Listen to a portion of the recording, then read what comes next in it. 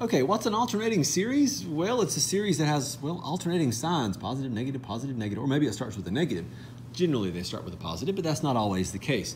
I want you to notice the structure of this. We're going to let a sub n be greater than 0, and that, that means that the explicit term is positive. Then the alternating series is going to be, just look at that part, positive, but then we have negative 1 to the n, and when you have negative 1 to the first, then the second, then the third, then the fourth, then the fifth, then the sixth, then you're going to have a negative, then a positive, then a negative, then a positive, then a negative, then a positive. It's the same thing if you have a n plus 1 as an exponent. Your signs are going to be alternating, right? So they're going to converge when these two conditions are met. So the alternating series will converge when I have met two conditions. Condition number one, this is the nth term test. That's what this really is. Nth term test. But it's only for the a sub n, which is the positive aspect of it, not what I call, and this is not a textbook definition, but the toggle factor. It is a factor that toggles, switches my sign back and forth. So this is the nth term, nth term test for the positive explicit formula. Like if I took the absolute value of this and I had no more switching back and forth, that would be what I'm dealing with, and I want to make sure that it approaches zero as in approaches infinity. Nth term test, basically. And then this is a fancy way of saying the next term, that's the next term, is always less than or equal to the current term.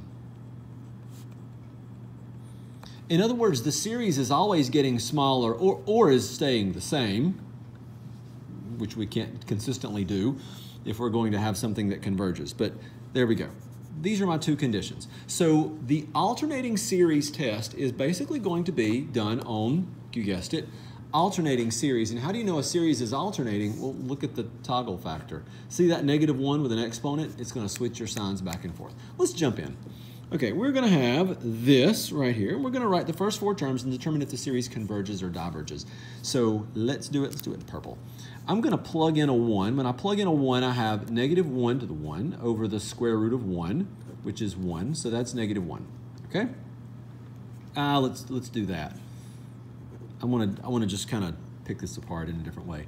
If I square this, I'm going to have a positive, so positive 1 over the square root of 2. And then I'm going to have to the third, so negative 1 to the third, that'd be negative 1 over the square root of 3, and then positive 1 over the square root of 4, yeah, call it a 2. Call that a 1 if you want to, so dot, dot, dot. There we go. I'm going to just go a little bit further with this, and this is negative 1 plus 1 over the square root of 2 minus 1 over the square root of 3 plus 1 over, I'll put the square root on that one just for consistency of structure. Could have done that here, just didn't.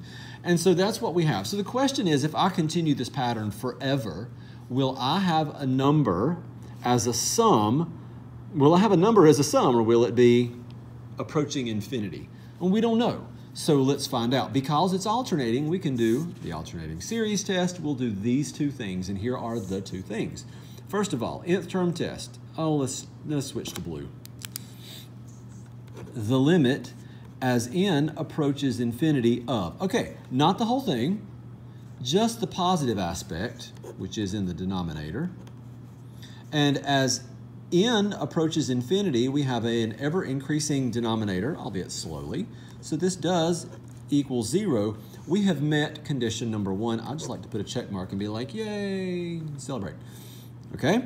Now we're going to go to the next one and we're going to say, well, the next term is always less than or equal to the current term. I need to clarify that a little bit.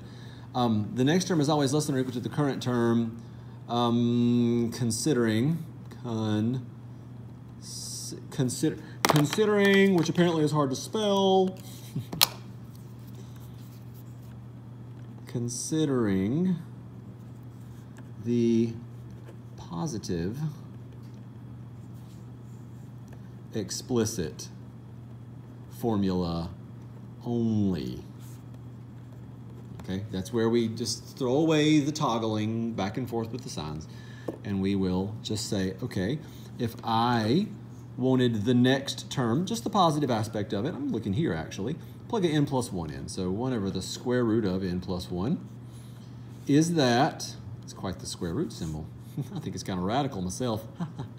is that consistently less than or equal to 1 over the square root of n? Well, bigger denominator makes for a smaller fraction. And so yes, check. Therefore, final answer, switching colors again, it's fun.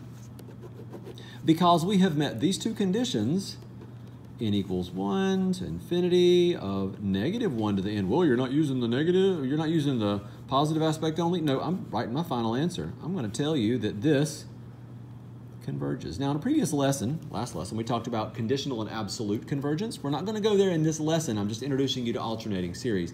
Conditional and absolute convergence is going to be the next lesson where we talk about whether or not this will converge regardless of whether it's alternating or if it's consistently positive. That's what that's going to be. So when you're thinking back to, oh, conditional, abs- conditional convergence based on the previous lesson, no, not this issue.